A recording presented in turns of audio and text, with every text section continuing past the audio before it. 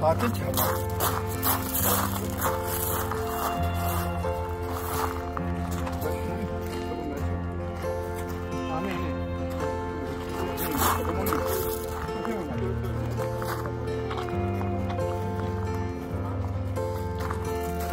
그 대표님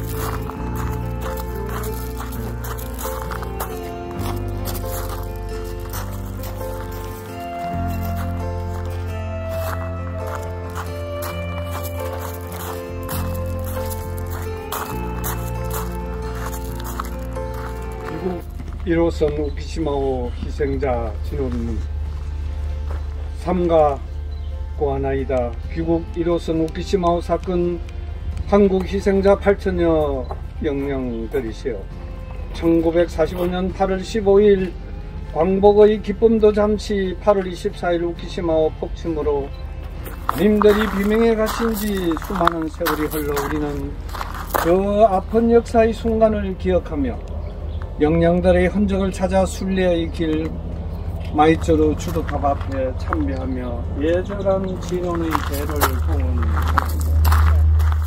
남광 대한해협 광란의 검은 쓰나미에 묻힌 우키시마호 1945년 8월 24일 아비규환 젖은 손 맞잡고 전율하며 해초처럼 밀려오는 수많은 유해 유골들을 수습하고 마이즈루 시민들이 동해에 쏟은 순수한 인류애를 기린다.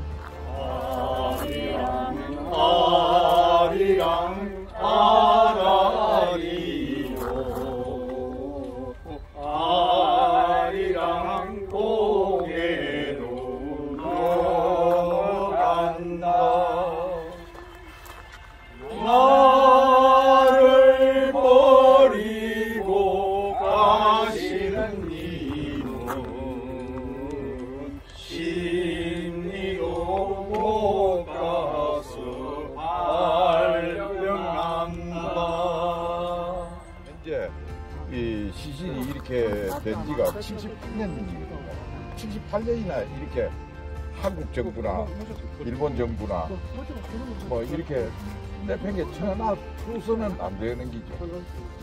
이 동북아의 평화를 위해서, 전 세계 평화를 위해서라도 시신만이는 빨리 동국으로 보내줘야 돼요. 그러니까 그런데 심정으로 절- 안녕하십니까. 선생님의 가치지향적 삶을 존경합니다. 여태 흘린 땀방울을 고스란히 모아 반짝반짝 빛나는 보석으로 만들어 드리고자 합니다. 저는 8비트 시절 컴퓨터를 익혀 공무원 봉직 29년과 IT 기업 셀파 시스템을 23년째 경영하고 있습니다. 지로와 CMS로 아주 편리한 과감 업무를 지원하오며 인류 최초의 알고리즘 짝퉁 방지 기술로 기사의 브랜드를 보호해 드리고 있습니다. 바야흐로 유튜브가 성공의 필수 요소가 된 시대입니다. 유튜브 누구나 할 수 있습니다. 하지만 유튜브 만만치 않습니다. 유튜브가 필요하시면 주저없이 제게 녹화하십시오. 저랑 아이디 기반 지식과 노하우를 공유하시면 상생 효과가 극대화되리라 믿어 의심치 않습니다. 감사합니다.